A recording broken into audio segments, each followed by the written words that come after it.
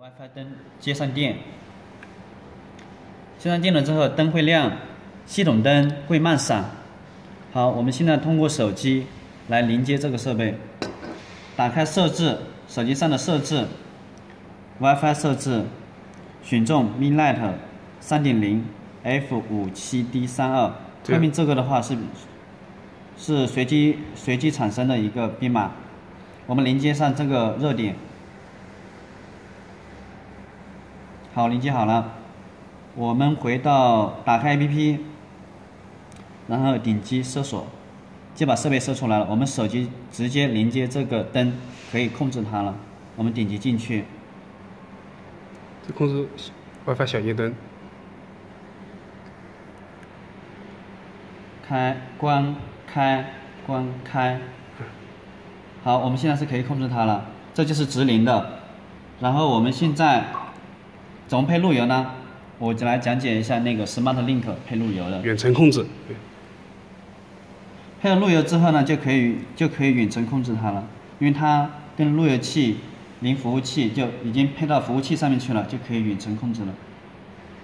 然后我们先连先连上自家的 WiFi，比如说这个是我们自己的 WiFi，我连上连上了我们自己的 WiFi。，OK，连好了。我们在设备这个地方有一个 SRT 键，短按一次。当系统灯慢闪，Link 灯快闪的时候，就是 Smart Link 模式。好，我们打开 APP，点击这个加号，Smart Link SSID 密码。我们把密码输进去，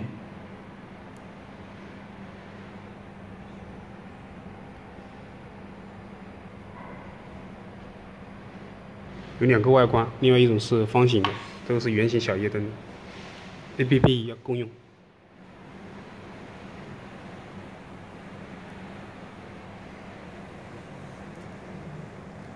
好，密码输进去了之后，我们点击开始配置。请耐心等待，大概十几秒钟的样子。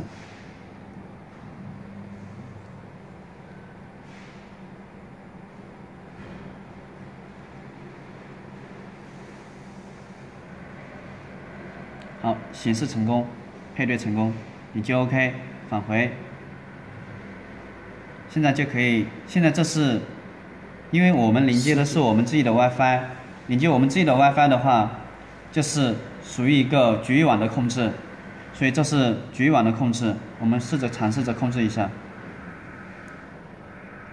那我们我们现在的话，连的是我们的小米的路由器的 WiFi，是这样子的。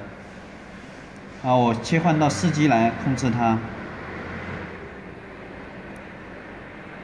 我们把 WiFi 关掉，四 G 数据打开，打开 APP。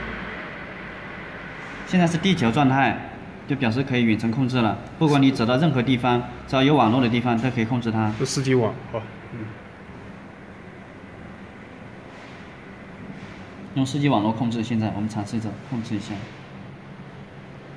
对。